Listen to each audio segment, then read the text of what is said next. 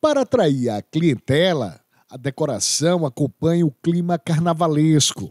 No bazar estão à venda artigos diversos que vão de decoração, vestuário, artesanato, bijuteria, cosméticos, entre outros.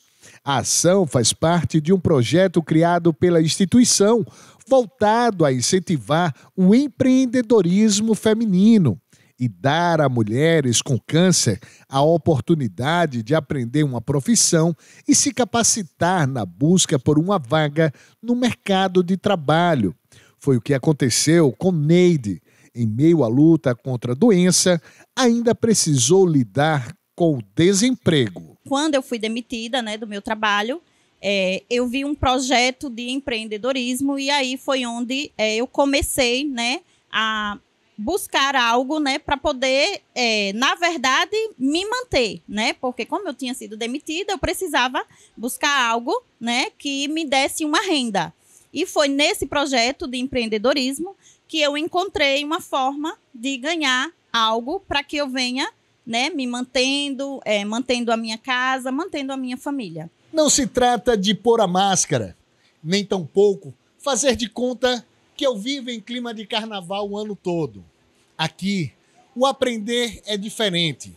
É entender que, apesar da doença, há toda uma vida pela frente. E dando a mulheres como Hortência a chance de mudar a perspectiva sobre a vida. A doença no mundo é significado de morte. Aí vem um projeto como esse da Instituição Mulheres de Peito e diz: não, vocês têm vida, vocês podem agir melhor, vocês podem ser melhor. Aí dá uma aula de bijuteria, um curso de bijuteria aqui na sede, do qual quem quis aprender, aprendeu. Hoje, no meu caso, eu já faço adereços para o carnaval, do qual eu me sinto maravilhosa ver que alguém está usando uma marca minha, Olhos de Girassóis. Para Maura, o projeto que culminou nesse bazar representou mais que a valorização dos produtos criados e vendidos por ela e as companheiras.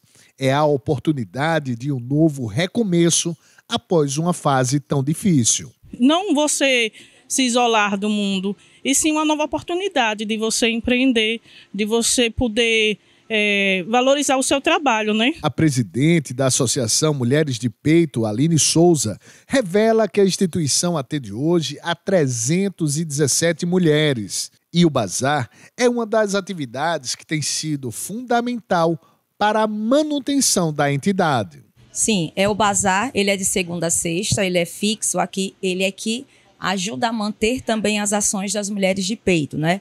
Através de doações, a gente tem esse, esse bazar. Tem peças que são novas, etiquetadas mesmo. Então, ele ajuda sim na manutenção da Associação Mulheres de Peito. Aline Souza reforçou ainda a necessidade de promover a conscientização das próprias mulheres sobre o diagnóstico de câncer e não encarar a doença como a decretação do fim da vida. Tem mulheres que após o diagnóstico de câncer, não é, de, ou seja mama mutilada, um esvaziamento axilar, não consegue retornar para o seu mercado de trabalho. E dentro das condições dela, de cada uma, das suas limitações, elas podem sim se tornar empreendedoras, não é? Seja consultoras revendendo confeccionando seus artigos mesmo de bijuteria, de artesanato, e aí a gente capta essa mulher, capacita e coloca elas agora em feiras livres e aí a gente vai para a vida.